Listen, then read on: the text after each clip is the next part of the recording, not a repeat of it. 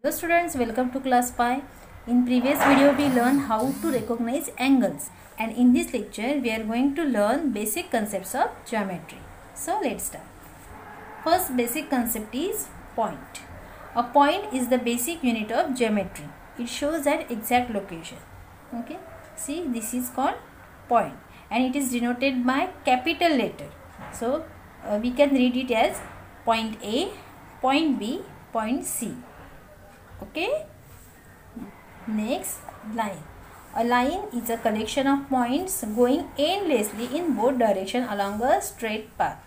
देखो, ये straight path है और जो लाइन होती है वो कलेक्शन ऑफ़ पॉइंट्स होते हैं। जैसे कि यहाँ पे मैंने सपोज़ कुछ पॉइंट्स ड्रॉ किए, देखो, और इनमें से, देखो, इन पॉइंट्स को मैंने ज्वाइन किया। तो ये क्या बन गई? लाइन बन गई, ठीक है? और वो कैसे होते हैं?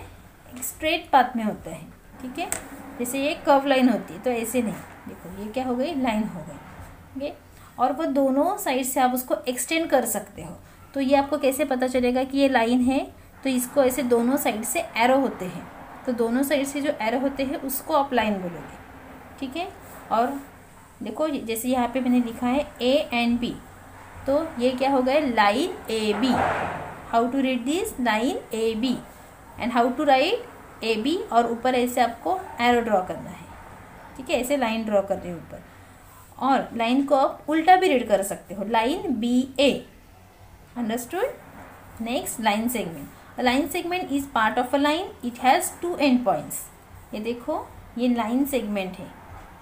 और इसके दो एंड पॉइंट्स होते हैं। और इसे लिखना कैसे देखो? How to write this P Q line segment P Q और सेगमेंट पी क्यू तो उसके ऊपर ऐसा जो लाइन मैंने ड्रॉ किया इसका मतलब क्या है, ये सेगमेंट पी क्यू है। और यहाँ पे देखो लाइन में ऐसे मैंने ऊपर लाइन ड्रॉ किया है।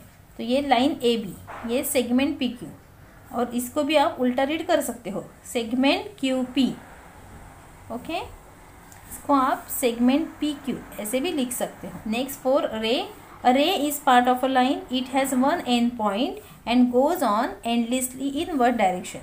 जैसे लाइन देखो, दोनों डायरेक्शन में क्या होती है? एक्सटेंड होती है। लेकिन जो रे होता है, वो एक ही डायरेक्शन में एक्सटेंड होता है। इसीलिए इसको यहाँ पे एरो किया है। ओके जैसे सन रेज होते हैं, आपका जो टॉर्च होता है, उसकी लाइट होती है, जो एक पॉइंट से शुरू होती है, और आपको पता है ना लाइट जो होता है, वो कितने भी दूर जाता है। ओके तो यहाँ पे देखो, आप उसको लिखना कैसे देखो? Ray P Q ray P Q और इसको आप रिवर्स में नहीं लिख सकते। जैसे लाइन और लाइन सेगमेंट हम क्यू पी ऐसे उल्टा भी लिखते थे, लेकिन रे को आप ऐसे नहीं लिख सकते। समझ में आ रहा है आपको?